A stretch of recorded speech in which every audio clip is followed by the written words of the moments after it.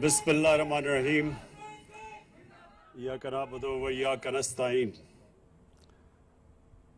मैं आज uh, ख़ास तौर पे अमीन असलम आपको और जो हमारी जो क्लाइमेट चेंज की मिनिस्ट्री में लोग काम कर रहे हैं, मैं सबको पहले तो खराज तहसीन पेश करता हूँ कि आपने बड़े थोड़े वक्त में बहुत मेहनत की कि जो पाकिस्तान में हम एक एक तब्दीली लेके आ रहे हैं, ज़मीन पे भी और सोच में भी, कि आने वाली हमारी नस्लों के लिए ज़रूरी है कि हम अपना जो लाइफस्टाइल बदलें और सोचें कि आज जो हम कर रहे हैं अपने मुल्क से, इसका अगले दस साल में अगले बीस साल में और अगले पचास साल में क्या हमारे आने वाली नस्लों को फ़ायदा होगा या नुकसान होगा?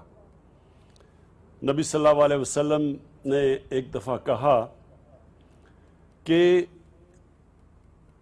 अगली दुनिया के लिए, आखिरत के लिए इस तरह जियो कि आपने कल मर जाना है। तो इस तरह अपनी ज़िंदगी गुजारो, क्योंकि आपने कल मर जाना है।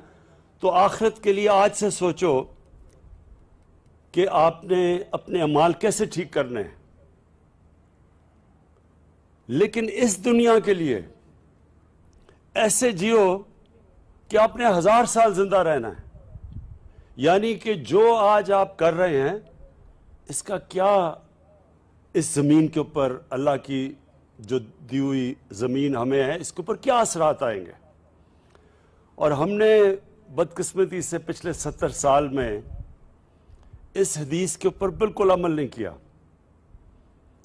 हमने ना अपनी आखिरत की फ़िक्र की और ना ही हमने ये सोचा कि हम जो जिस बेदर्दी से अपने दरख्त काट रहे हैं, अपने जंगलात ख़त्म कर रहे हैं, इसका हमारे आने वाली नस्लों के ऊपर क्या नुकसान होगा?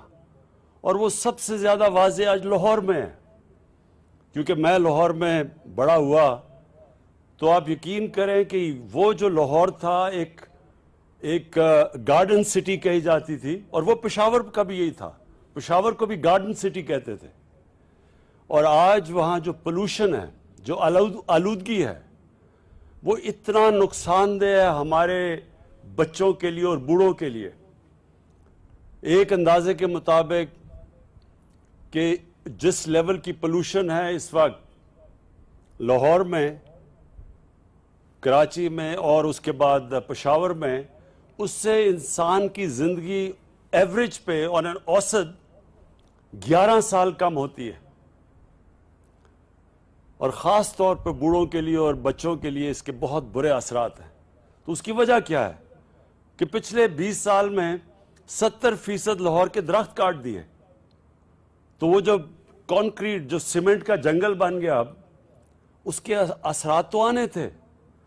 तो जो आज हम यहाँ कोशिश कर रहे हैं ये हमने लाहौर में 50 लाहौर के अंदर 50 साइट्स हमने इलाके ढूंढे जिसमें ये जो मियावाकी ये एक, एक टेक्निक है जो जापान में निकाली गई थी कि एक ऐसा जंगल जो कि बड़ी तेज़ी से उगता है जो कि आज उधर